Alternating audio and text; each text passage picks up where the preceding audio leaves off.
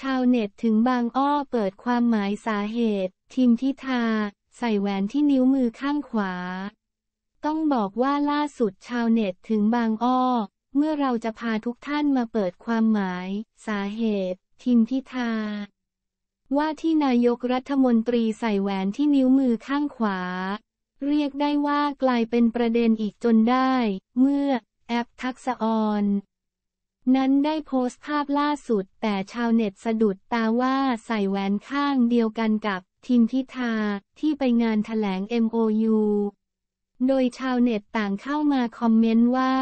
ใส่แหวนนิ้วนางมือขวาเหมือนคุณพิธาตอนถแถลงโมตอนนี้เลยค่ะ ปกติคุณพิธาไม่เห็นเคยใส่แหวน คุณพิธาคลั่งรักมากนะ ถึงต้องใส่แหวนข้างเดียวกันนิ้วเดียวกันอีก ถึงต้องกลับไปดูหลายรอบมากมันใช่หรอ อะไรจะเกินไปไหมพ่อส้มแอนแม่ปีใหม่ และล่าสุดชาวเน็ตถึงบางอ้อเมื่อเราจะพาทุกท่านมาเปิดความหมายสาเหตุ ทิมทิทาว่าที่นายกรัฐมนตรี ใส่แหวนที่นิ้วมือข้างขวา โดยชาวเน็ตต่างเข้ามาคอมเมนต์มากมายว่าผู้ช่วยใส่แหวนนิ้วนางขวาหมายถึงความราบรื่นไม่มีอุปสรรคค่ะ นักธุรกิจหลายคนก็ใส่แบบนี้ แหวนสายมูต้องเกี่ยวกับความสำเร็จค่ะ ไปต่อ